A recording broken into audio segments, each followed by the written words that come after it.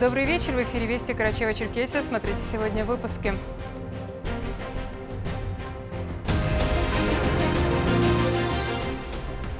«334 белых воздушных шара белого цвета как символ светлой памяти о безвинно погибших в теракте. В Карачево-Черкесии вспоминали трагедию в Беслане. Жители новых российских регионов сделали свой выбор. Голосование за депутатов, баллотирующихся в законодательные органы Донецкой и Луганской народных республик, а также Запорожской и Херсонской областей. Орден за заслуги перед Кабардино-Балкарской республикой Казбек Коков наградил председателя Координационного центра мусульман Северного Кавказа муфтия Карачева-Черкесии Исмаил Хаджибердиева.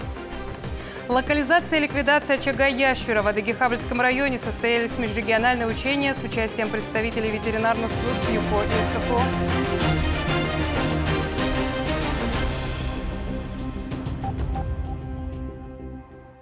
Накануне в России вспоминали трагическую дату День солидарности в борьбе с терроризмом. Прошло 19 лет, как террористы захватили школу в Беслане. В селе Костахитогорова у мемориала «Скорбящей матери» прошло мероприятие, посвященное памяти жертв трагедии в Беслане. Собравшиеся почтили минутой молчания погибших и возложили цветы к мемориалу. На траурном мероприятии побывал и наш корреспондент Александр Лепшоков. Кто право дал вершить людские судьбы – и нежные сердца злой болью наполнять. Еще вчера они учить пытались буквы, сегодня свой букварь уже не смогут дочитать. Это стихотворение ученицы средней общеобразовательной школы села Кастахитагурова Зарины Занаевой еще раз напомнило всем собравшимся про эту ужасную трагедию, унесшую жизнь 334 человек, безвинно погибших в теракте в школе Беслана. Собравшиеся отмечали, что в этом мире нет оправдания терроризму, и тем более по отношению к детям. В траурном мероприятии приняли участие представители власти, общественности и духовенства республики. Каждый из участников выражал слова скорби по погибшим и солидарность в противостоянии главной угрозе современности – терроризму. Эти страшные три дня забыть невозможно, как невозможно забыть плачущих женщин, испуганных и раненых детей, круглосуточное напряженное ожидание. Вечным напоминанием о жестокости той трагедии является город ангелов, где похоронены погибшие дети и жители Беслана – и аллея героев на Никола-Архангельском кладбище, где покоятся спасавшие детей сотрудники Альфы и Вымпела.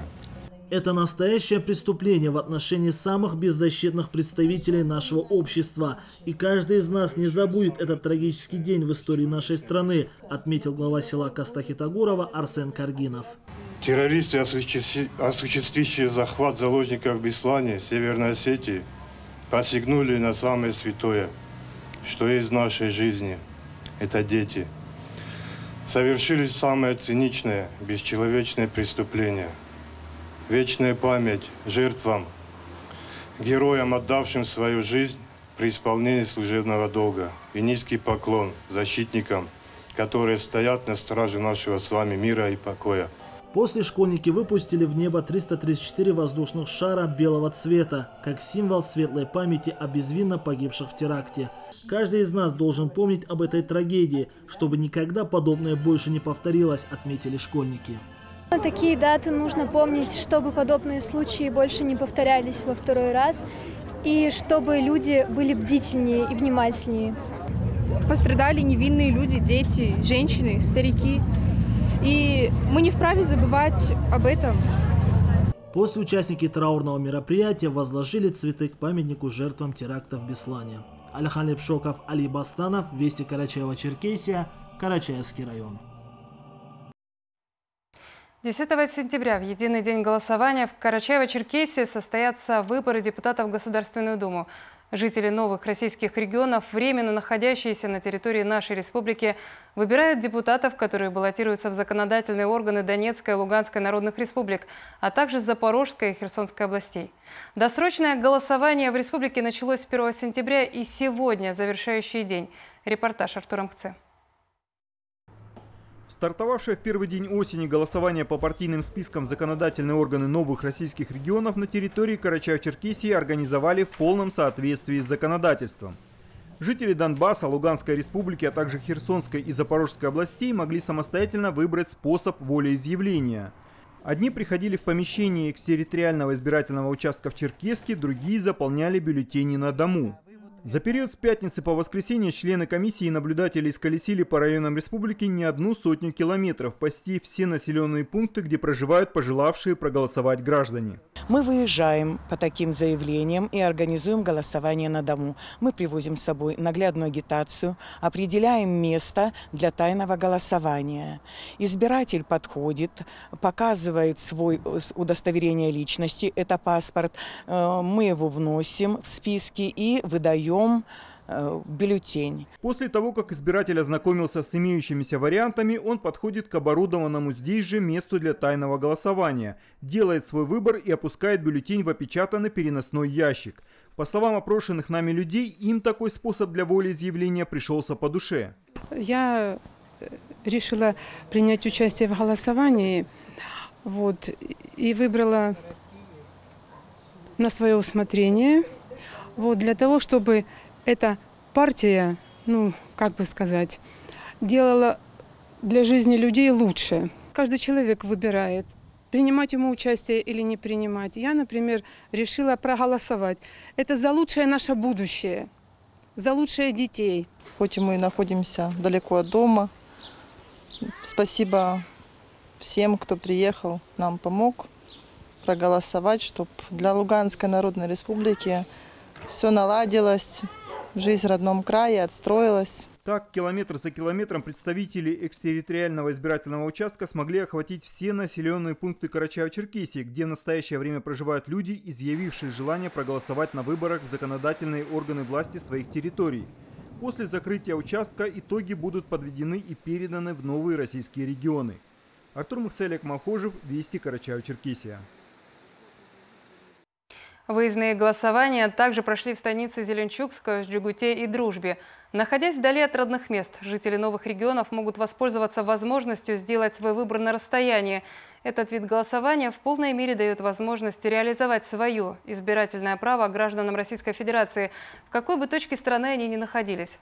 Стоит отметить, что для избирателей это не просто голосование за кандидатов, а голосование за благополучие своего родного дома. Мы очень рады, что у нас э, там теперь Россия.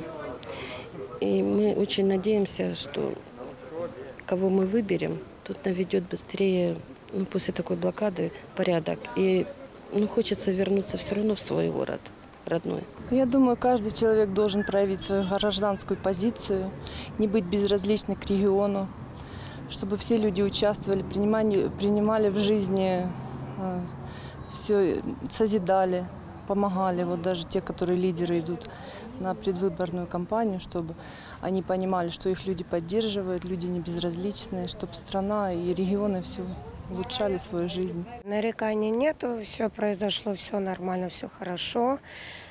Я проголосовала, нормально все. Сейчас прогноз погоды на завтра от синоптиков.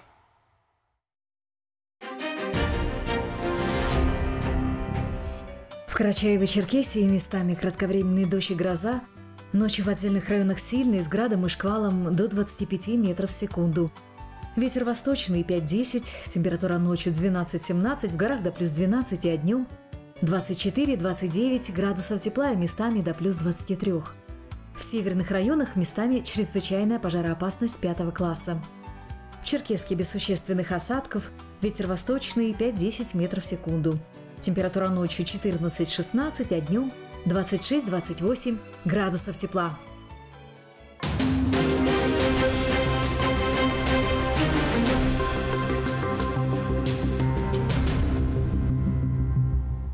В Нальчике в рамках празднования Дня государственности Кабардино-Балкарии глава республики Казбек Коков наградил председателя Координационного центра мусульман Северного Кавказа муфтия Карачева-Черкесии Исмаил Хаджибердиева. Высшие государственные награды орденом за заслуги перед Кабардино-Балкарской республикой. Награда была вручена за значительный вклад в развитие духовных и культурных связей и активную просветительскую деятельность. Исмаил Хаджибердиев на протяжении многих лет вносит большой вклад в развитие духовных связей не только в нашей республике, но и по всему Кавказу. И полученный орден тому доказательство. Муфти неоднократно был отмечен многочисленными наградами за заслуги, связанные с развитием государственности, укреплением мира, дружбы и сотрудничества между народами и конфессиями на территории Северного Кавказа. Он активно возрождает ценности традиционного ислама и укрепляет духовность, способствует нравственному воспитанию подрастающего поколения. Ранее высшую государственную награду «Орден за заслуги перед Карачаево-Черкесией» муфтию вручил глава Карачаево-Черкесии Рашид Тимрезов. В Адыгихабльском районе состоялись межрегиональные учения с участием представителей ветеринарных служб Краснодарского и Ставропольского края, Адыгеи, Чеченской республики, Ингушетии Северной Осетии, Кабардино-Балкарии по локализации и ликвидации условного эпизоотического очага ящура – по легенде, был введен карантин на условной территории. В ходе учений последовательно сымитирован порядок необходимых ветеринарных действий. Особое внимание было уделено системе оперативного оповещения, определению границ очага, работе ветеринарных постов на выездах из населенного пункта. В рамках улучшения системы ветеринарной безопасности достигнуты поставленные цели учений, совершенствование системы управления силами и средствами ветеринарной службы Карачева-Черкесии во взаимодействии с представителями Северо-Кавказского межрегионального управления Россельхознадзора, Управления Федеральной службы по надзору в сфере защиты прав потребителей и благополучия человека регионального ФСБ, МЧС и МВД при организации и проведении мероприятий по локализации и ликвидации эпизоотического ящера. Спортивные вести. Все болельщики и любители футбола приглашаются на матч, который состоится завтра в 18.00 на стадионе «Нарт». Футбольный клуб «Нарт» принимает у себя дома команду Владикавказ из Северной Осетии. Состоится заключительный матч первого этапа чемпионата ЮФО из КФО Вход свободный, поддержка фанатов команде необходима. Нартовцы обещают показать зрелищный футбол. Это все вести на сегодня. Прямо сейчас смотрите продолжение фильма «Спасская. Холод». Часть первая. Я прощаюсь с вами. До встречи.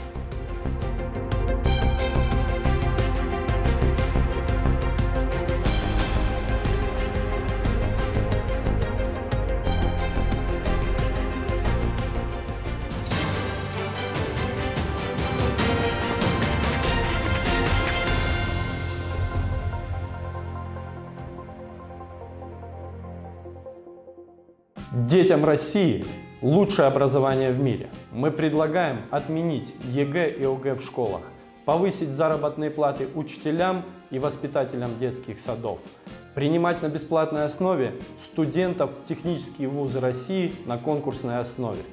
10 сентября приходите на избирательные участки и сделайте свой правильный выбор.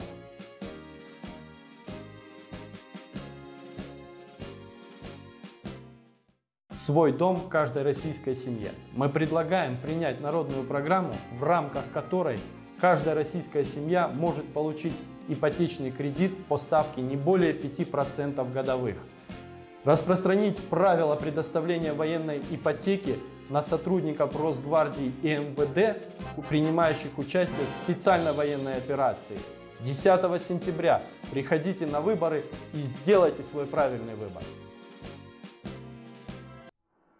Стране нужны творчество и развитие, а не репрессии и застой. Мы за безусловную ценность человеческой жизни, поэтому мы выбираем мир. Порой кажется, что впереди нет просвета, но самый темный час именно перед рассветом. Вам говорят, что выбора нет, а выбор есть. И если вы гражданин своей страны, сделайте такой выбор.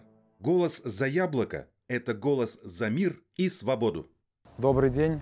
Меня зовут Султан Узденов, я являюсь кандидатом в депутаты Государственной Думы от Карачаева-Черкесии. Я считаю важным обеспечить активное участие молодежи в социально значимых делах. Новые рабочие места и способы самореализации для молодежи именно в родном регионе позволят им внести свой вклад в разные сферы общественной жизни. Мы также придаем огромное значение патриотическому воспитанию и уважению к старшему поколению. Их мудрость делает нас теми, кто мы есть. Уважаемые земляки, в трудный период для нашей страны нам необходимо сплотиться для того, чтобы передать будущим поколениям мирное небо и опыт наших предков. У нашей партии есть опыт построения великой страны, сломавшей хребет фашизму и покорившей космос. Сделайте правильный шаг, голосуя за кандидата от КПРФ Вы голосуете за свое светлое будущее. Вместе мы победим.